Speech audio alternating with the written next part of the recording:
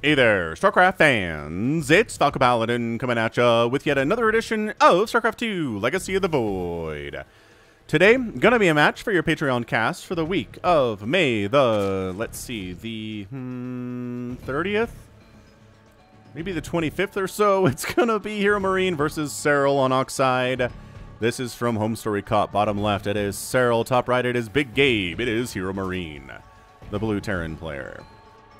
All right, man. So Terran has been giving Serral a lot of fits lately, right? Hero Marine beat him a while ago. Clem beat him recently. And European Terrans are, I feel like, catching up to their European Zerg counterparts. Which is a bit of a trouble here for Serral. So 16, 18, 17 here from Serral. One Rax, Rax expand here from Hero Marine. Nothing too crazy. Nothing too crazy from either of these players indeed, although never forget that Proxy Rax plays are definitely doable all the time in StarCraft 2. Terrans use them a whole bunch against players like Serral, which is why he's sending his overlords out for scouting purposes. Actually, this one just going straight across the map. This one is not looking for proxies at all. If Hero Marine threw a proxy in the path of an overlord that came straight from Serral's base, he would be a big dumb. But he's not. He's Big Gabe, and he's making a Reaper. So let's see what this Reaper is up to. I mean, obviously he's going to run down to the natural base, maybe kill a Zergling. If he's like, super lucky, he'll get two Zergling kills. He can tell all his buddies about it, but he's also going to die. So expansion on the way here from Hero Marine. Hit that like button if you haven't already. Just allows the algorithm to know that I'm here and things are working. Things are going according to plan. So Reaper name is Dream, this Minecraft speedrunner. Yes, I have heard the story of Dream a little bit. Was dragged into Mengsk's kangaroo court to explain his failures as a leader. Dream tried to explain that Dream, the StarCraft pro, I mean general, was a different person, but Mengsk needed a scapegoat, so he sent Dream to the Reaper program. It is said that he has he only has a 1 in a 177 million chance of surviving. so those of you who don't know, Dream, a Minecraft speedrunner, which is like, whatever. Speedrunning's cool. But there's a random seed category. Ooh, he's gonna get this. He's gonna get it. Oh, that's forced, forced into a spore. Tragic stuff here. So there's a random seed category where basically you start the game with a random seed. You don't know what it is, and depending on how that RNG goes, it can help you win the game faster or slow you down. So apparently, Dream got like this incredibly lucky combination of events that somebody mathematically went out to say that it was a one one in 177 million chance of happening and got the world record. And anyway people have accused him of cheating but who knows? I don't that's for sure. I wasn't there. Anyway third cc on the way from hero marine third base on the way from Serral just about complete. Reaper buddy dream no kills but really wants one. Also really wants to see if there's a roach warren coming up but you're not getting in the front door, that's for sure. Also, taking advantage of the fact that these lings don't have speed is sort of a huge deal as well.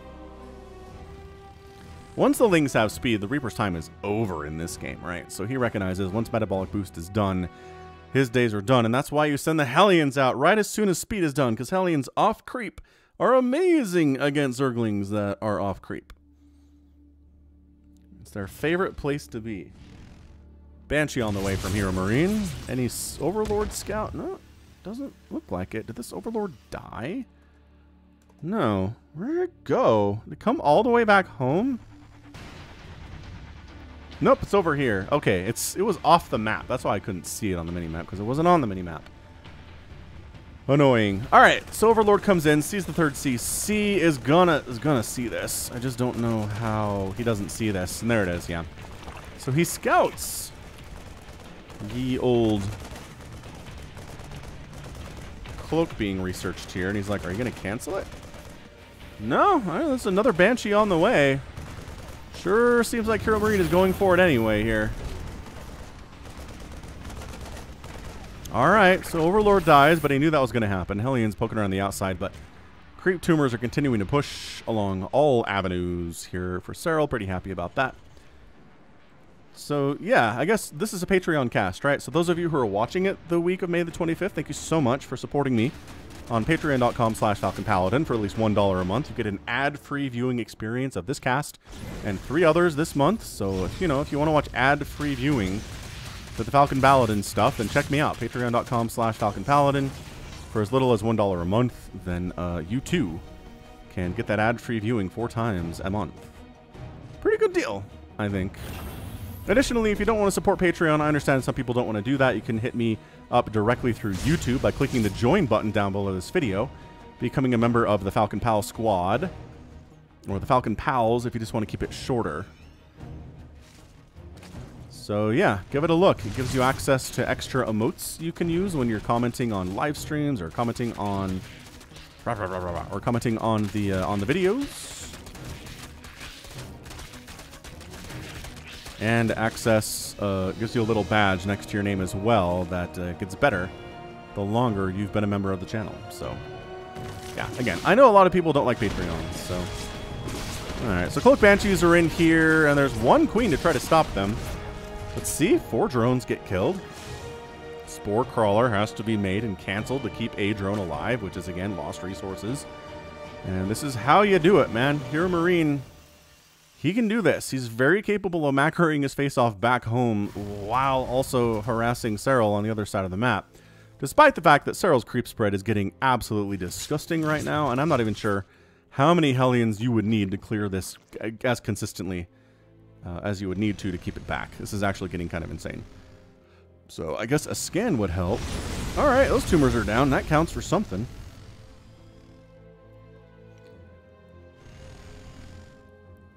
Drop, heading over, big old double medevac drop here at about six minutes, seven minutes or so. It's going to line up with plus one armor. It looks like not really plus one attack. Creep tumor down. Doesn't want to use a scan on that, apparently. So here we go. Big on low, but guess what? Banelings have speed.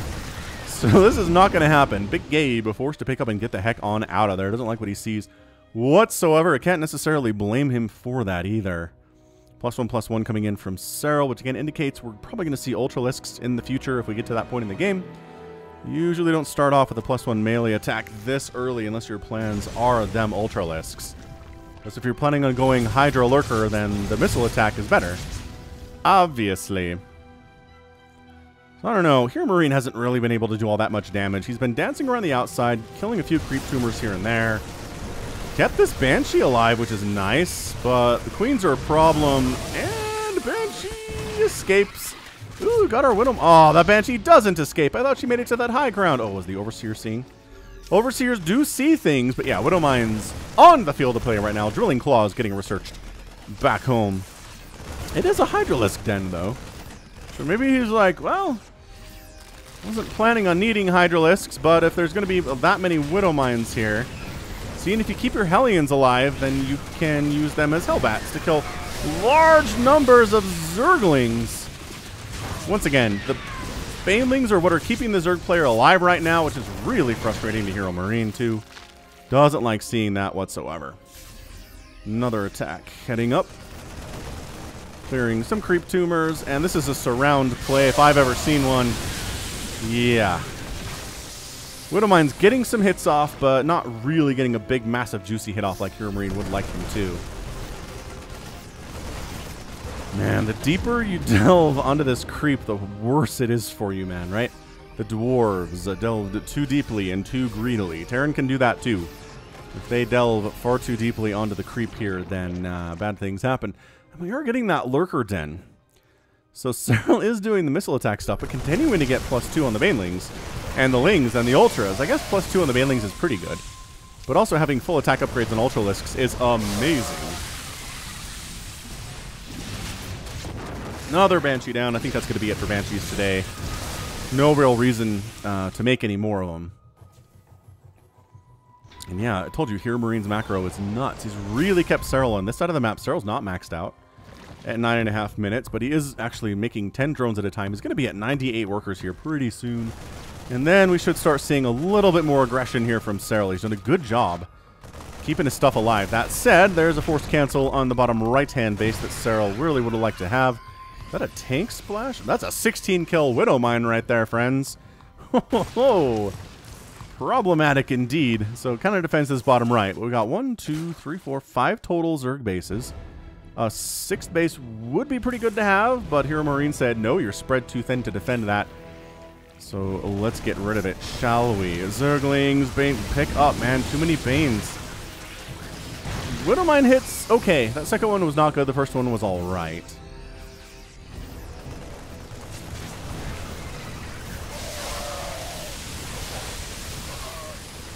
Yeah, decent Baneling hits there as well, but the splits from Hero Marine are fantastic. Really, really good splits. Again, that's the thing. With your Banelings, you're kind of, a lot of the time, relying on the Terran to screw it up. right, if their splits are bad, then sure, you'll make some really great connections.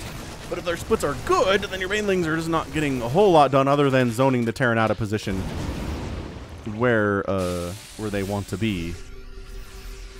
Six kills on that Widow Mine, and ready to fire again. Thank you, good sir. We can pull back to that one or these ones as necessary.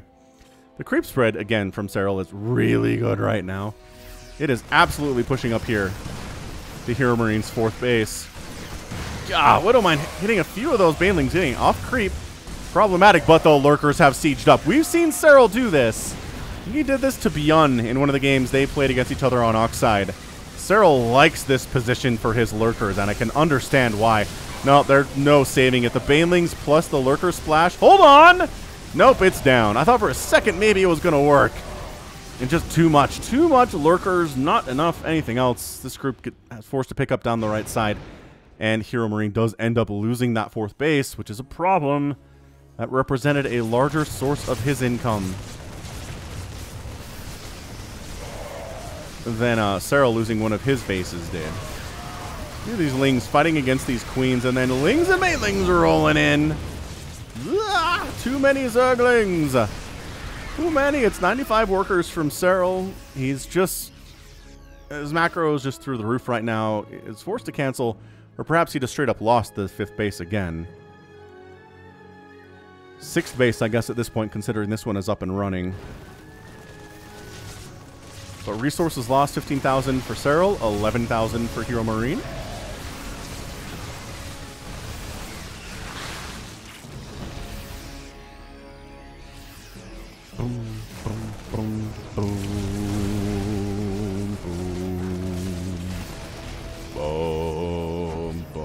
Oh, free siege tank. Kind of lagging behind the group. We see that too much from siege tanks these days. I just, I don't know. Zergs have got them figured out, man. They know to look for them, right? If they're lagging behind the group, just pick them off, or if they're exposed at all, they will get focused down, and it's hard for them to accomplish a whole ton.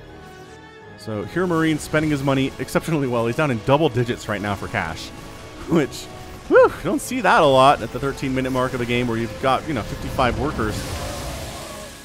But Serral just swarming. I don't know what other adjective to use here. I guess verb to use here is swarming. I guess it could be an adjective as well. But that's a lifted off orbital command for sure. I'm not sure you're coming in and saving this, sir. Yeah, that's lifted off. And by that I mean Big Gabe is worried about this battle over here and this is not going to lift off. I'm really... Okay, it's dead. All right, that should not have happened. Hero Marine really focusing on this push up the middle right now. He did kill a couple lurkers in the process. That was great. Well, look, Serral's taking this top left base that Hero Marine doesn't even know that it exists. Or this one that, man, got killed again. Hero Marine keeps sending units down there. And Serral's not ready for it, and I'm not ready for it either. So I have one thing in common with him. That's a decent three kill Widow Mine hit, four kill Widow Mine hit. So much Zerg coming up here, though. Lurker's getting the flank attack on the tanks. They were dead anyway. That group's going down. This group's going down. And that's your GG. Serral is just too much.